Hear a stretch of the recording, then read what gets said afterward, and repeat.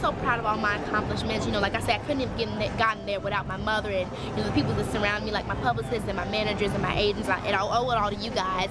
And um, you know, God has given me this talent, uh, you know, of acting and singing, and you know, I'm just, I'm just so thankful for everything, and I just got to keep working, pushing it out hard, and entertaining you guys.